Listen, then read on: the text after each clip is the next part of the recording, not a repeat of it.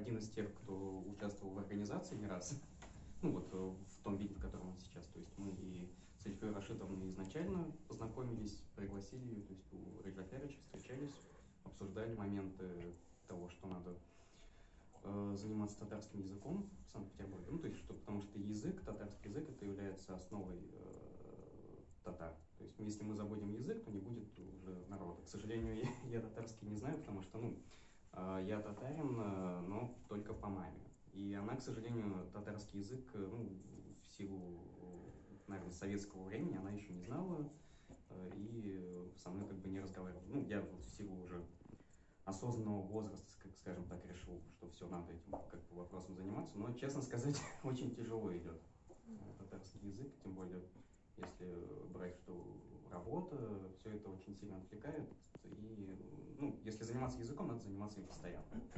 Практиковать э, и учить что-то новое. Ну, здесь немножко, может быть, в Петербурге не хватает, может быть, какой-то практики именно культурной, там, ну, театр мало, да, Сейчас есть народный театр э, татарский, но у них пока что еще они только начали, у них мало таких спектаклей. Из Казани, конечно, приезжают, но очень редко. А вы из Петербурга, да? А, да. Ну, ну, родился я в Якутске. А. Изначально я родился в Якутске, и мы в, переехали сюда в 99 году, то есть, ну, mm.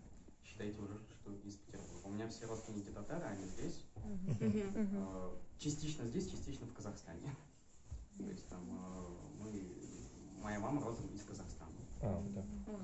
В переписи вас переписали? А, да, я, ну, я, я, я, я скажу, я тогда болел ковидом дома, и ко мне никто не приходил, но я через госуслуги, у меня супруга, сказала, давай так перепишемся, а. С тобой быстренько говорю, и не забудь, послушай, ты татарин.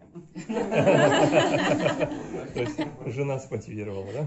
Нет, ну как бы надо было, потому что данные статистики, они как бы ну, такие неадекватные немножко татар намного больше, чем показывают. То есть не 20 тысяч все-таки, да? То есть... Нет, их намного больше.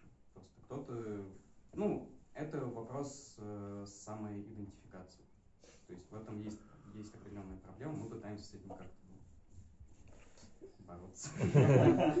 Решить вопрос. Да, решить вопрос. Ну, как, как можем. Культура, язык. А на Сабантуй сколько человек собирается? Здесь все 20 тысяч. Есть Сабантуй, который проводит из Гиюл в Тосно, да, это поселок Шапки. Он э, собрал, ну, слушайте, народ было много, так, ну, лично не считал. На последний Сабантуй, который вот основной у нас есть, да, э, который проходит в деревне Янково, в Всеволожском районе, а там э, народ было действительно много, был еще жаркий день, то есть там целая толпа, ну, это еще можно связать с тем, что многие, все соскучились по этому празднику, потому что там собираются на самом деле не только татары. Там собираются все местные жители, все приезжие, скажем так, из стран э, СНГ. То есть там ну, много людей. Праздник такой вот собирают. Очень много. И у нас София осталась. Вот, не